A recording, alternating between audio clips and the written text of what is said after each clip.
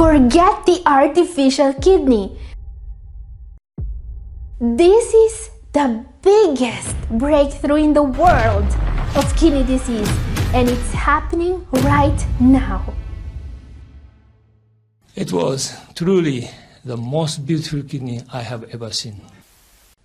On March 16, 2024, a 62 year old man from Massachusetts was part of one of the biggest steps forward in the history of medicine.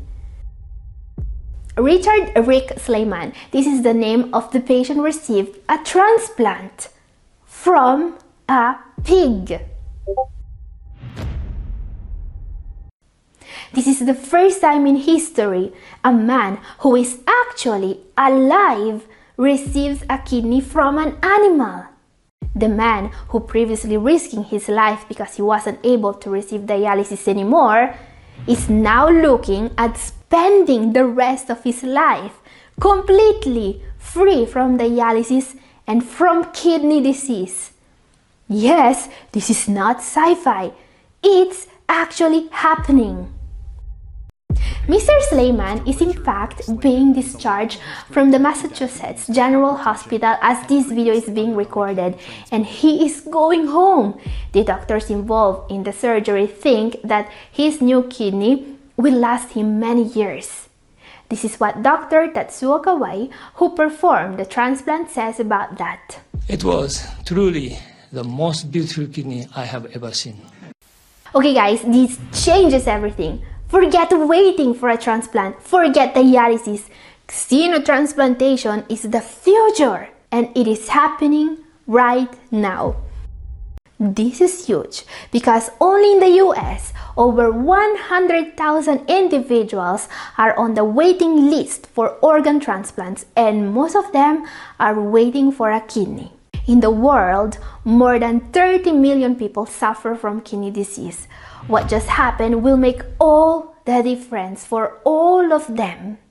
Because now the world is looking at a man that was almost on his deathbed at 62 and that is now going back to his life, his family, and his job as a healthy man. All thanks to a kidney coming from an animal that can be farmed and that can be easily produced in a number that will be able to satisfy all the need for kidney transplants in the near future. Yeah, I hope you understand why I'm excited about this. This is the most beautiful kidney ever, as the surgeon rightfully said. There is just one thing now that's preventing even more patients from getting a kidney from a pig. And we will see what it is in the next part of the video. So now you may ask, how is this possible? How can you get a kidney from a pig? Well, this is not a normal pig we are talking about. You see, in theory, a pig is the perfect donor for human transplants because its organs are similar in size and function to human organs. However, there is one major issue with getting an organ from a pig. The human immune system can recognize pig organs as foreign and attack them, causing something called hyperacute rejection. As the name implies, this means very fast damage to the implanted organs, but not in this case. What these scientists did to make this possible will surprise you. You see, this is a genetically modified pig that has been cloned and that was born in a lab. His DNA was altered because after decades of research, these scientists were able to find which genes were causing the rejection. So he has lost several pig genes from his DNA so that we can use his organs. And not just the kidneys, the heart, the skin, and more can be used. It's amazing what science can do. But science is not the only hero in today's story. Mr. Slayman, the man who received this genetically modified kidney, is taking a huge risk.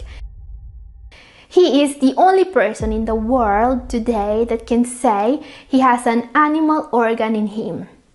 And this man is not only doing this for himself. This man took a huge risk accepting to receive a kidney from an animal, and he's doing this not just to save his life. He also saw this as an opportunity to make science advance, to be a human experiment, and to help every single kidney disease patient. This is what his nephrologist says about that. He saw this as not only as a way to, to improve his own personal life, but a way to provide hope for the thousands of people who need a transplant to survive.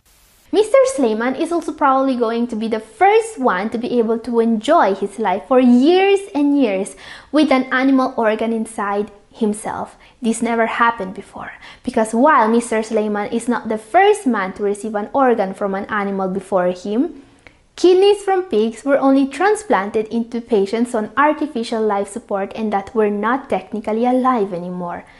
But this is not the case here. This man surely hopes to keep his new kidney for a long, long time. There is the not so remote possibility that his new kidney will last way longer than the one he previously received in a regular transplant. In fact, Mr. Slayman received a kidney transplant at the hospital in 2018 but had to go back on dialysis last year when it showed signs of kidney failure. When dialysis complications arose requiring frequent procedures at the hospital, his doctors suggested a pig kidney transplant. I mean, I can only imagine what went through his mind when the doctor gave him this option. I'm still trying to wrap my mind around the fact that this is really happening, and I can only imagine how a man who has received a kidney from a pig for the first time in history may feel.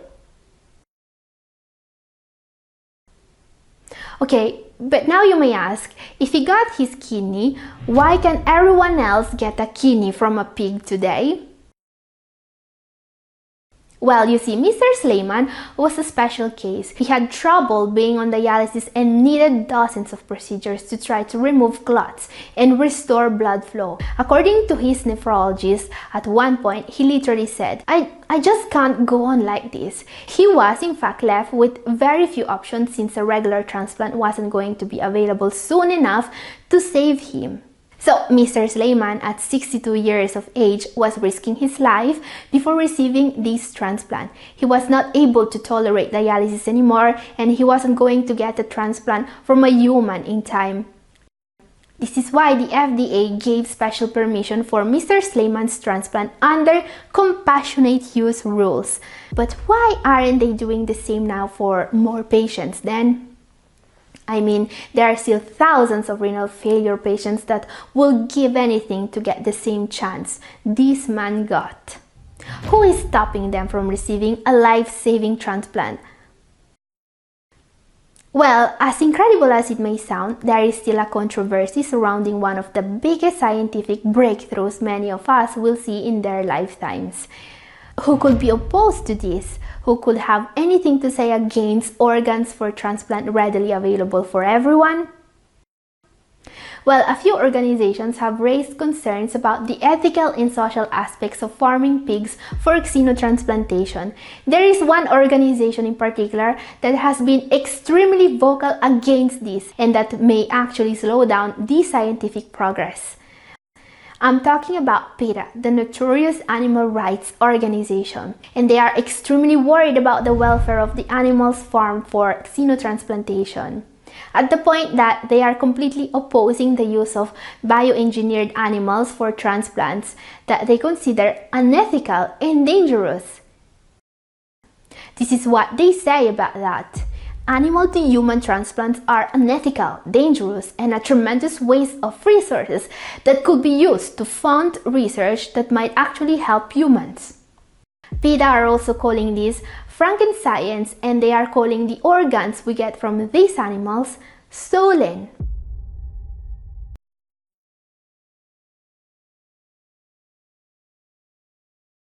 Now, I know that many people would consider what this organization says about this topic just the ramblings of madmen. I mean, it's easy to decide that people must lose their lives in order to save pigs when you are not the one who needs to be tied to a machine three times a week in order to survive. But this psychological and social aspect may be a bigger obstacle than people may imagine. I mean, is someone going to throw a bucket of red paint on me if they know that my kidney comes from a pig? Now guys, this is not the only ethical concern about animal organ transplants. You see, when it comes to animal to human transplants, there is also a concern for the broader implications for public health due to the potential for new zoonotic diseases. These are diseases that are not present in humans but that can be passed from animals. This actually happened already during the first heart xenotransplant.